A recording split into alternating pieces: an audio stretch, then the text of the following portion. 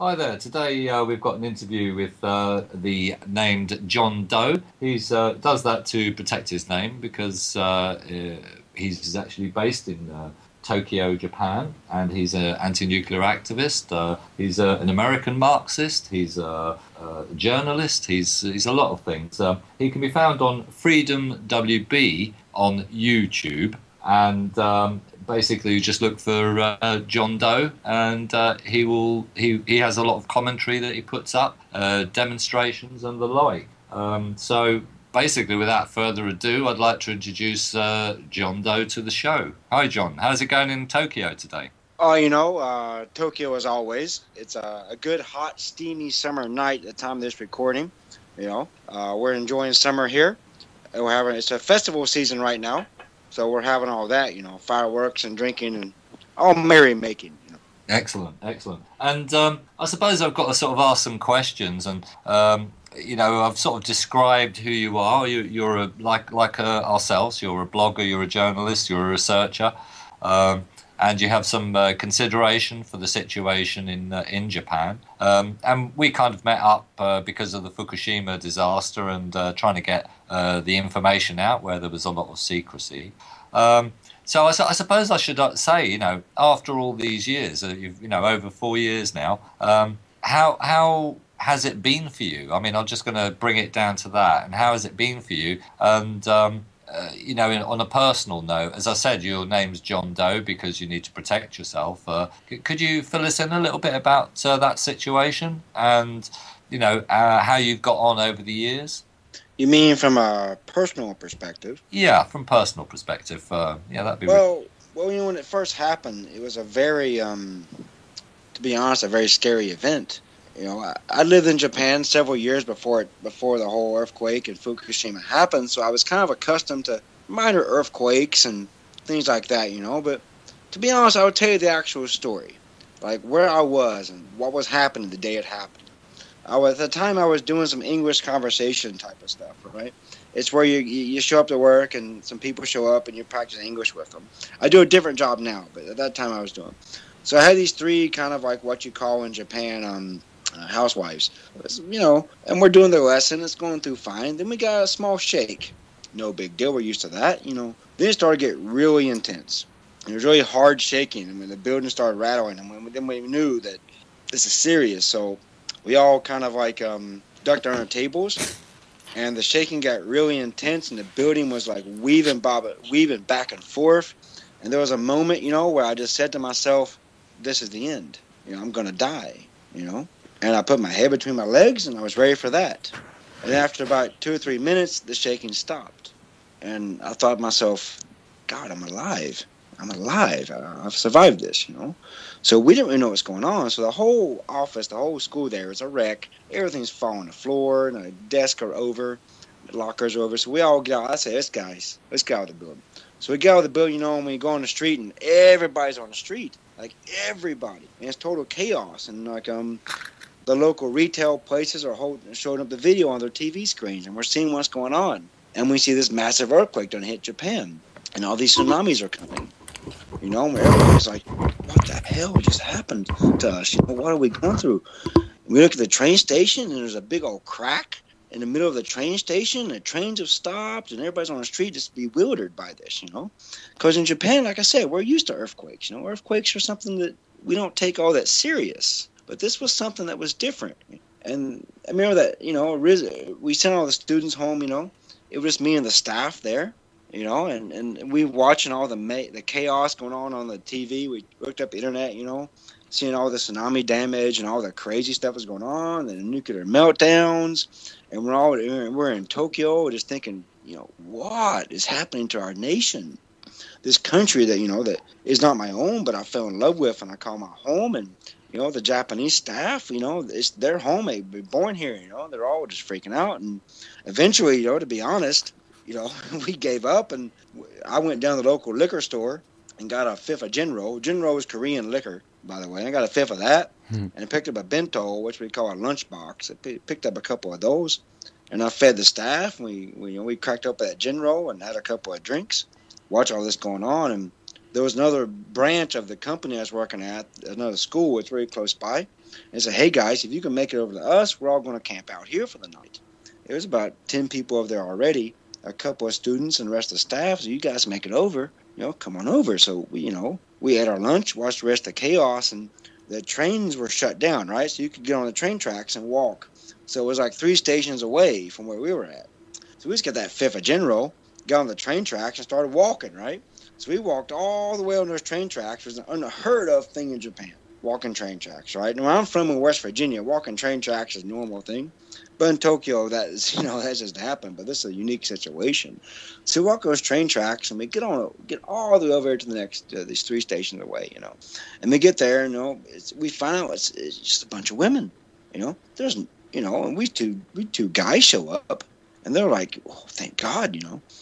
I don't know why, you know, because I'm not a misogynist type of person. I'm not like a women hating person, but Japan's where it is, you know. So what I had to do that night was basically secure the building and make sure the keys were okay and lock everything up and take care of them. And that was my that was my that was my first day with with the uh, earthquake and tsunami was trying to take care of people. And the next morning we woke up and the company said, "Nah, everybody go home." So the next morning the trains were actually running in Tokyo. Believe it or not, then by like nine o'clock the trains were running. It was chaos. You know, I got on the train there, you know, and it took me like three hours to get home from like a normal 45 minute train ride. And eventually got home there, you know, and my internet was working, but we still we didn't have phone service for four days in Tokyo. But internet was fine. You could use internet, but you couldn't use your phone. You couldn't call anybody because it was so overwhelmed. And I just went home, got my got my PC there, you know, and just watched everything. And just every like five or six minutes, we get this hard earthquake. every five or six minutes, man, it was like boom, boom, boom, boom, boom, boom you get shook the shit out of you, you know. And that went on for like two weeks. Two weeks of that. You imagine that, man. Two weeks. Every five or six minutes, you're getting this hard earthquake. You're getting like 6.5s, you know, sevens every five or six minutes. That's the way it was for like two weeks in this country, you know. So that must so have that's my very. personal experience of how how initially it all went down, you know. And So that, maybe did a that cause a lot of fear in the Japanese then? uh, you know, there's a thing about Japanese culture, you know, that overall, you know, there's a, there's this thing in Japanese culture of being very kind of hardcore, being kind of stiff upper lip, you know, and I admire the Japanese for that. I've learned a lot from that, you know, like people here when sh- when things get really bad, the Japanese tend not to say anything. They tend to do something. They react instead of like talking you know, and people were freaked out. I was on the train trying to get home at one the morning after, you know, I could see the look on everybody's faces. We all shared the same feeling that this is bad, you know, but no one said anything. They just kind of looked at each other, and we just we just cooperated. You know, it's an amazing thing about Japanese culture that instead of freaking out and looting and being insane, people just knew that this is bad, and you don't need to talk about how bad it is because we all know. People just cooperated and they behaved in a very orderly manner.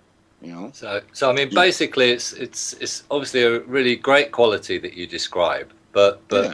in the terms of nuclear, if we were going to jump onto that subject, uh, basically we could turn around and say that you know it's been a great hindrance when you have a, a sort of large uh, sort of um, uh, industrial accident like uh, Fukushima happen. Um, oh, it's in, terrible. in terms of people's uh, ability to confront the issue.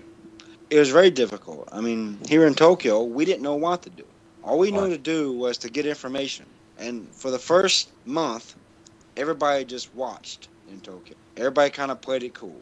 You know, everybody just kind of got information, tried to figure out what was going on, deal with the shortage. We had we had supply shortages too in Tokyo. We had, and we're, lots of things we were dealing with. So we just kind of observed and just watched what was going on. And, And in terms of the mainstream media in Japan uh, and around the world, you know, after about two to three weeks, they started censoring uh, any information Well, about Fukushima. So, censoring censoring in Tokyo, there's a good censoring in Japan, right? Didn't happen after two or three weeks. The censoring didn't really go on until Shinzo Abe was elected to power. You right, know, there's a misconception that the censoring went on immediately. No, it didn't. You know, because a lot of you know a lot of people, you know, not to say anything bad, but you don't live in Japan. You know, you weren't getting the information that we were getting. sure. You know, and at first we were getting the media was all over it like stink on shit. Not to use disparaging language, but it was kind of like that. You know, you had the uh, Asahi, Asahi Shimbun is kind of like the mainstream left wing paper here. You know, Japan Times is the foreign gaijin paper. You know, you know, and they were all over it. The media here was mad about it. They were just like angry. They were forcing the government and TEPCO to give information. Really hard pressed them, right? And a lot of information came out with the first three or four months. That's right. It was like full blown. The media here was very impressive.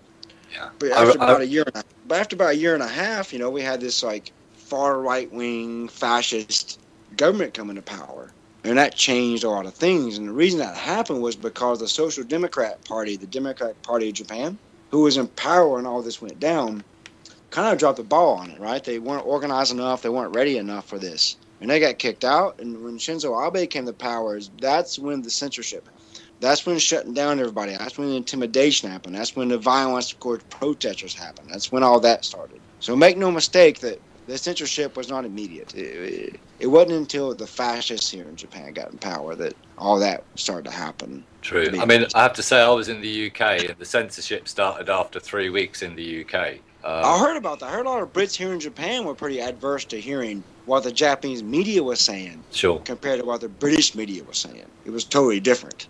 Yeah, no, it's, uh, and there was uh, there was a, a, local TV station that basically uh, uh called uh, I can't remember the name of it at the moment, uh, but basically did a, a study with uh, Mika Noro, who was working in Chernobyl, uh, Mika Noro, yeah, yeah, that guy's amazing person. Yeah, and uh, she she basically went on and she did a, a study, a epidemiological study, and she was finding nosebleeds, uh, various uh, uh, stomach problems, and uh, headaches, and rashes, and various other things that had come up mm. about three three months after the disaster. I did a lot of reports on that stuff in the first couple of years. Mm. You know, and people often ask me why don't I don't keep doing those reports and the reason why is like there's nothing more to say. Sure, sure. You know, it I is mean, what it is. I've made those reports. I've followed those reports and videos yeah. and writings across the internet. Yeah.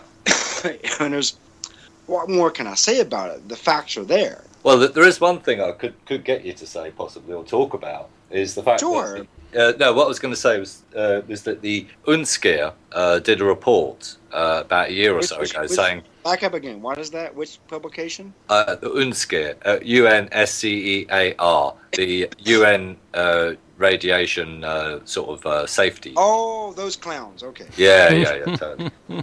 but it, it, in that group, there are some half decent people that were trying to fight against the pro nukes because uh, it's a kind of a mixed bag.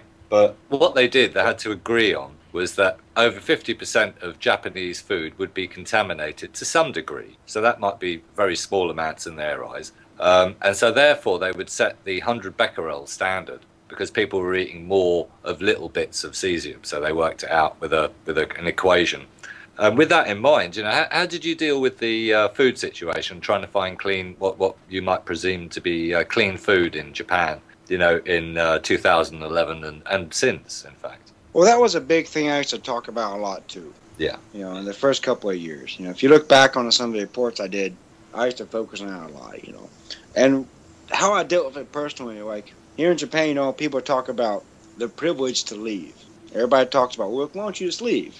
You know, and these people, they must be Westerners, right? And they have the privilege to choose where they live. You know, but here in Japan, you know, we, we don't have no choice. It's our country. It's a home, you know. This is my adopted home, you know. It's not like I can pack up and leave. And I was really offended by all these people who said, just leave, just get out of there. I'm like, you know, buy me a plane ticket. You know, it's my home. It's where I live. I lived here for a long time. You know, I, am financially connected here. I just can't pack up and leave, you know. Uh, that just made me angry a lot of times. It frustrated me that people would say that to me, you know. You know, but what, how we dealt with it, right? We looked at the areas that were most contaminated, right? You got like Fukushima, you got Ibaraki. Those are the two most dangerous zones. And unfortunately, that's where the uh, large majority of rice in Japan is grown. Ibaraki and, and Fukushima, that area. So when you go to the grocery store looking for rice, what we do, we go by harvest seasons, right?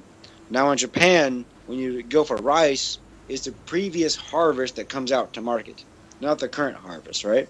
So in Japan, still they put the area where the rice was produced at right? They have to. It's kind of a regulation. So I go looking for rice. I go look for the areas that are further away from the most contaminated zones. That's where I buy my rice from. You know, as far as other foods, if it says Ibaraki or Fukushima, no way, not eating it. I'm just, you know, those are two prefectures that are kind of like you don't eat from.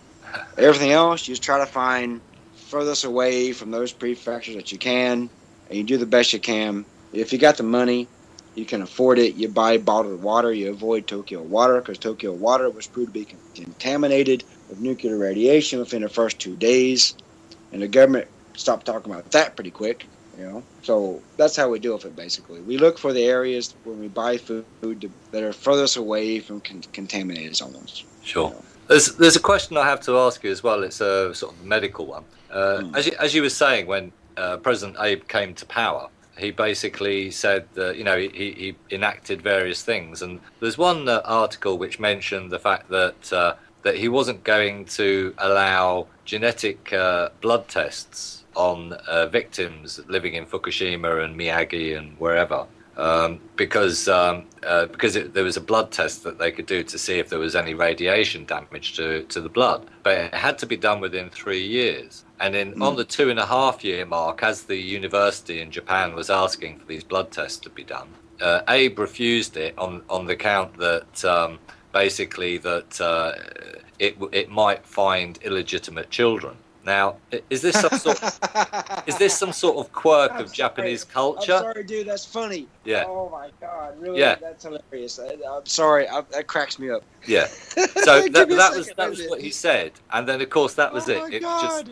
just it was just squashed, right? Crazy stuff. Yeah, of course. That's just ridiculous. Yeah. Who the fuck? I'm sorry to use foul language again, but Jesus Christ. Oh wow, that's that's so Abe. Yeah. That's so Shinzo Abe. That is. Oh wow.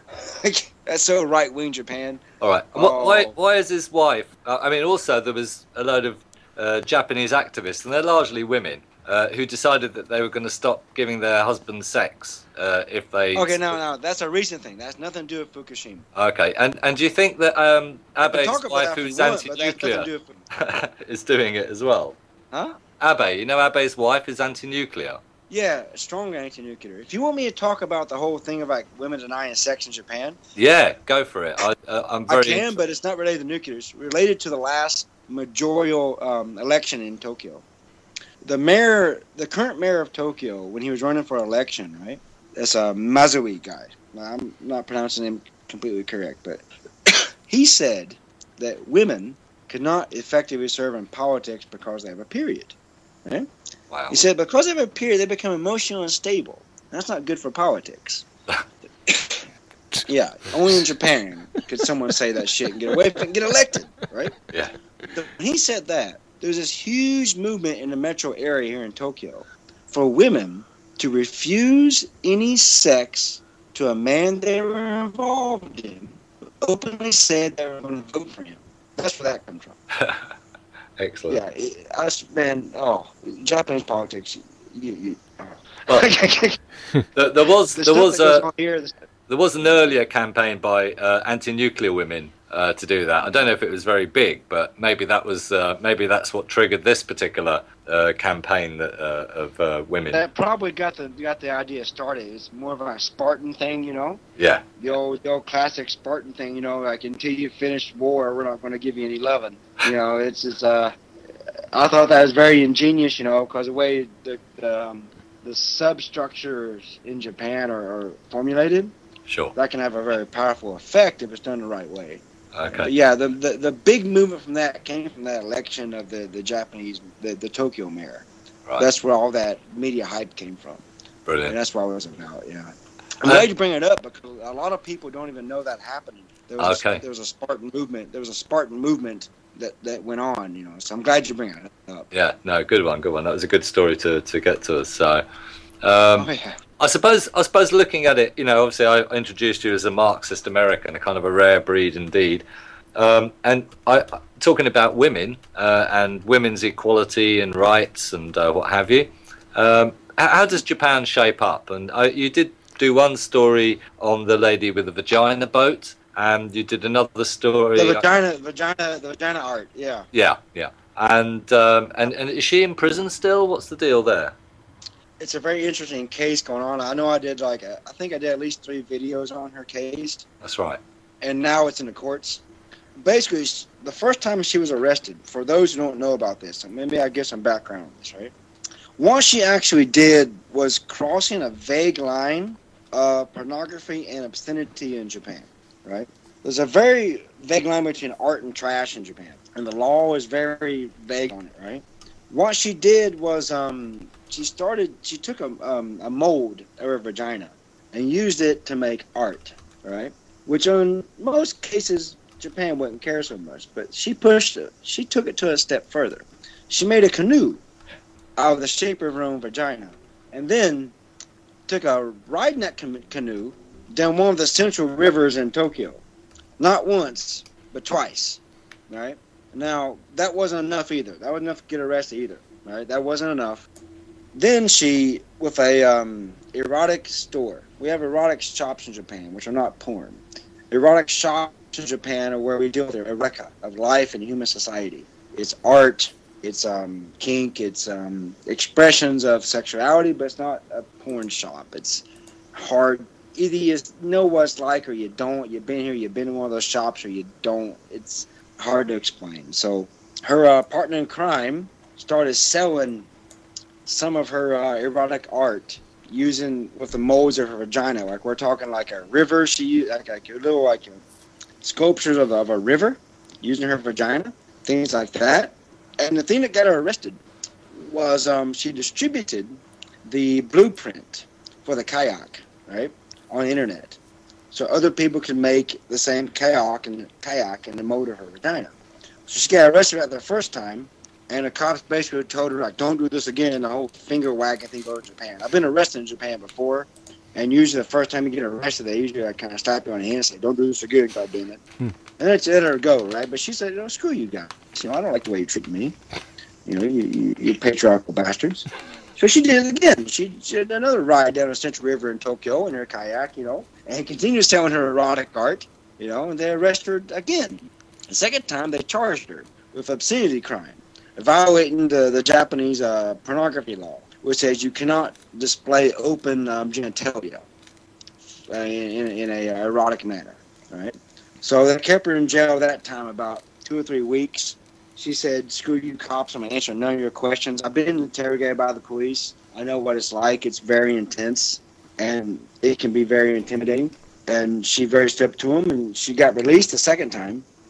You know, but probably because of the media attention, that's why they let her go. Because usually it's unheard of to get bail in Japan. Okay. It's unheard of. Japanese or Gaijin, it's unheard of to get bail in Japan. If you get if the cops snatch you up, typically you're in jail into your trial, into the duration of your trial. But due to the media attention, she got released on a very small bail fine. You know, and now it's in the courts. And it's up to the lawyers because the system in Japan is different from what you may be used to. The trial in a trial in Japan is a show trial. It, it is meaningless. It's everything that happens before the trial in Japan. That's important. You're a bengoshi or you're lawyer, right? What he does is he tries to negotiate the terms and conditions of the trial before the trial happens. So his best chance is try to get the case dismissed. He tries to discredit discredit evidence before it's presented to the judge. They have a negotiation that goes on between the judge, the prosecution, and the, and the defense before it goes to trial, right?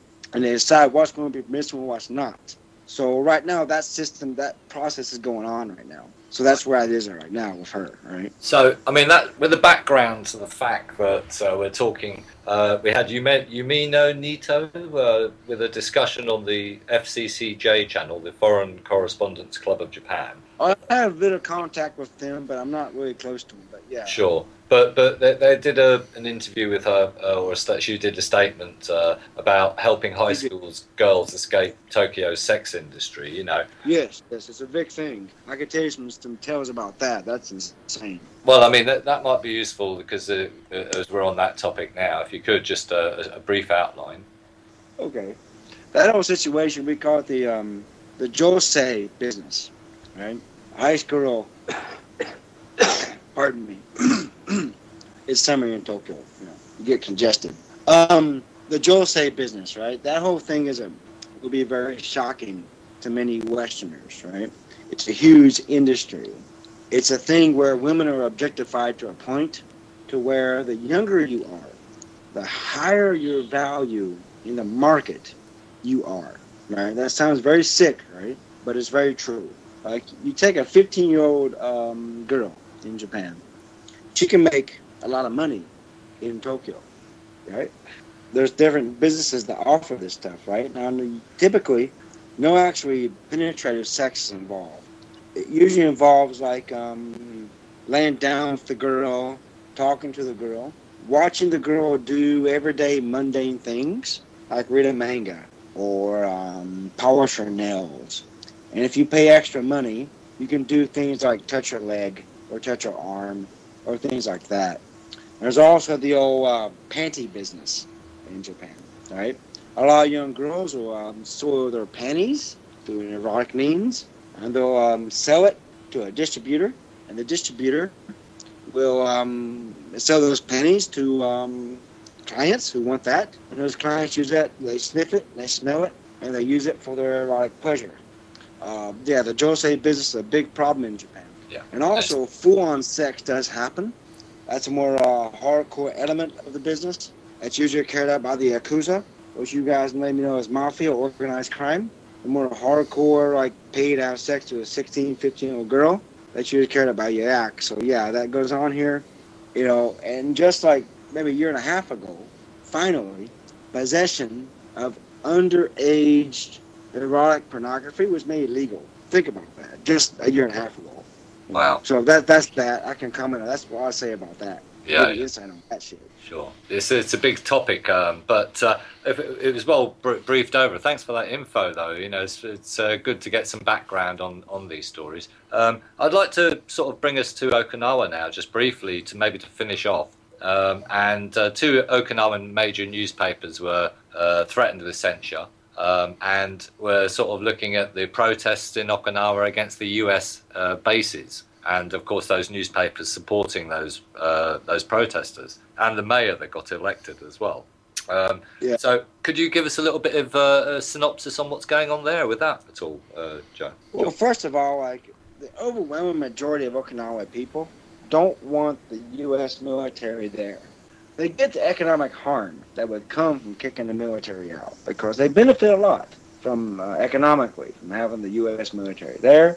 You know, tourism, food, all that. You know, but for them it's more than that because you're dealing with a group of people, ethnically ethnically unique people called the Ryukyu people. They're not Japanese and they're not Chinese. They're kind of a mix culturally and ethically of Japanese and Chinese. All right, and for a long time, Ryukyu was not even a part of Japan. It was an independent nation. They called a pirate nation. Right.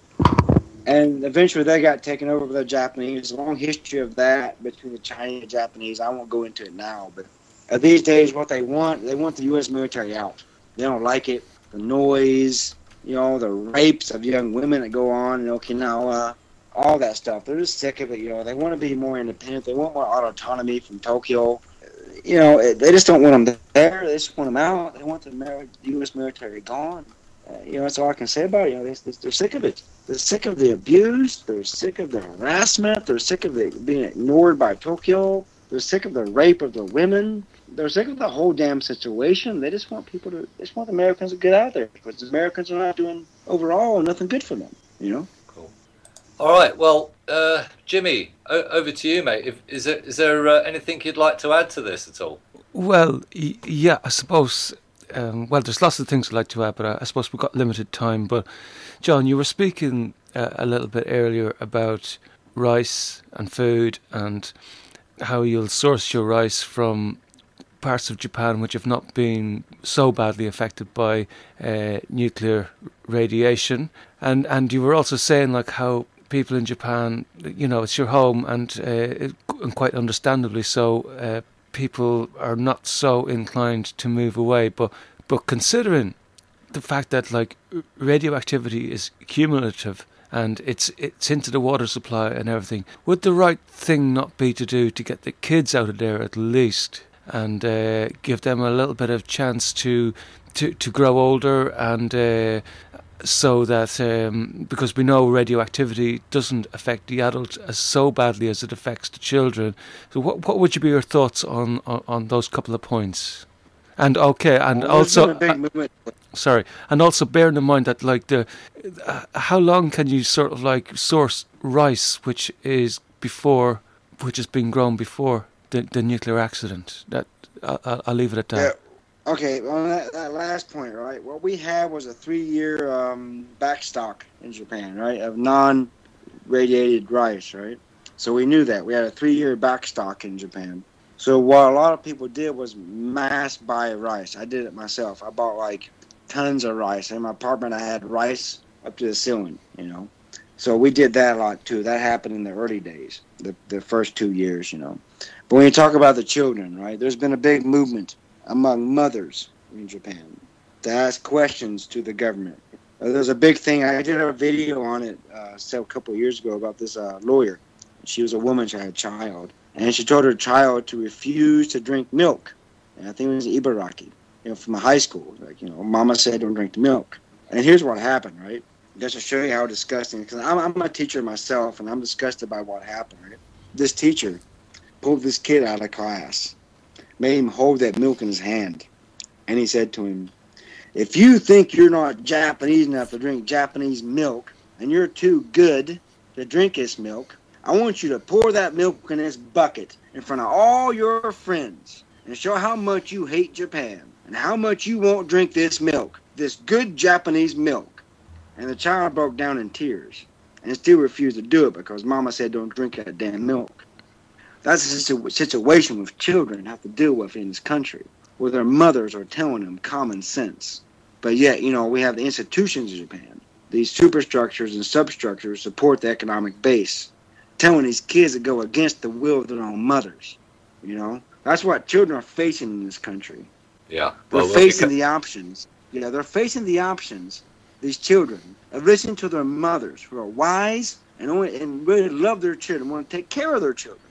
But they go to these institutions who are forcing these children to go against common logical sense due to political convenience. You know, so talk about what the children are facing. That's what they're facing here.